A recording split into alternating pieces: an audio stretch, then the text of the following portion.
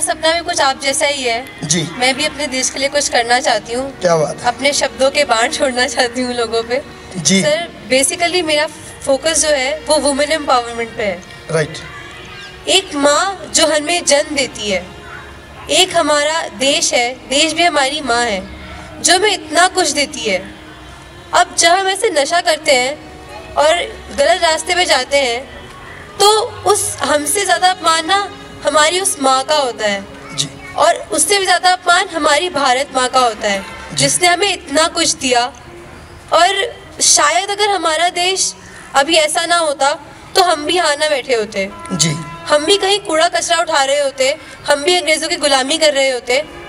और सर जो भी हमें मिला है ना उसमें हमारी माँ का हमारे परिवार का और हमारे देश का बहुत बड़ा हाथ है। तो सर जैसे कि लोग बहुत बोलते हैं वुमेन एम्पावरमेंट के बारे में कि लड़कियाँ ये कर सकती हैं लड़कियाँ वो कर सकती हैं। बट सर कहीं ना कहीं ना उनमें खुद एक ऐसी भावना होती है कि लड़कियाँ लड़कों से कम होती हैं। जी। सर भगवान ने कभी भेदभाव नहीं किया? जी। भगवान ने दोनों को एक जैसा बनाया और जो भेदभाव डाले हैं ना वो हमने डाले हैं। जी। जब कोई लड़की पैदा होती है और एक अगर पे- परिवार में लड़का और लड़की दोनों पैदा हुए हैं तो जो माँ भी होगी ना, वो अपने बेटे को बोलेगी कि तू बंदूक से खेल, जो खिलौने वाली बंदूक आती तू उससे खेल। तू बाहर जाके खेल, तू स्पोर्ट्स में रहा। और जो लड़की होती है, तू घर का काम सीख, तू तू गुड़िया से खेल। मतलब अगर मैं किसी से पूछना चाहूँगी, किसी ने किसी ग्रंथ में ऐसा पढ़ा है कि जहाँ लिखा हो कि लड़कियाँ ही गुड़िया गुड़िया से खेल सकती हैं, लड़के ही स्पोर्ट्स में जा सकते हैं।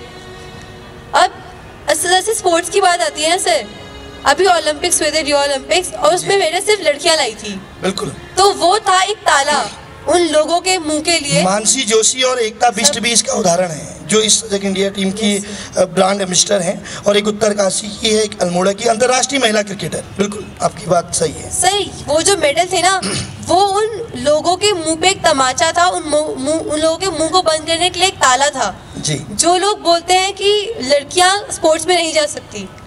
सर मैं एक एक्सपीरियंस शेयर करना चाहूँगी। मेरी एक फ्रेंड थी जो नेशनल लेवल वॉलीबॉल प्लेयर बन सकती थी। जी। उसने सर स्टेट लेवल पे पाँच छः बार मेडल जीते हैं। जी। एंड जिस सर जब उसकी जब नेशनल लेवल पे जाने की बारी आई जी। तो उसकी फैमिली ने मना कर दिया। कि लड़की है तो अकेली कहाँ जाएगी? जी। तो सर उस बेचारी की शादी करा दी गई। और सर जब उसका अप, जब वो बड़ी हो चुकी है तो जब उसका मन किया कि वो अपने बच्चों को स्पोर्ट्स सिखाए तो उसके जो घर वाले थे उन्होंने उसके लिए भी मना कर दिया। तो सर वहाँ तो उसका सपना मरा ही। तो अब हमारे पेरेंट्स चाहते हैं कि जब हम अपना सपना जो पूरा नहीं कर पाए वो सपना पूरा हम करें तो वो सपना भी उसका मार दिया गया। तो एक बार अपनी बहनों से क्या अंत में एक, एक लाइन में क्या बोलना चाहेंगी? लास्ट सर, कमेंट मैं बस यही कहना चाहूँगी जी। कि लड़कियाँ कभी लड़कों से कम नहीं होती। जी। जो काम लड़कियाँ कर सकती है वो एक लड़का भी नहीं कर सकता। जी। एक लड़की एक बच्चे को नौ महीने अपने पेट में पाल सकती है और वो लड़का भी हो सकता है। जी। तो सर जो माँ इतना दर्द से है कि एक बेटे को जन्म दे सकती है एक बेटी को जन्म दे सकती है। वो कितनी हिम्मतवर नहीं हो सकती। कितनी हिम्मतवर है वो। जो तो एक बार मातृशक्ति के लिए जोरदार दिल से तालियाँ होनी चाहिए। और मैं चाहता हूँ कि हमारी छोटी बहन को भी सजग इंडिया और बहनों के नेतृत्व के लिए विद्यालय की टीम से स्कूल कैप्टन बनाया जाए। तो एक बार फिर से दिल से तालियाँ। Thank you last comment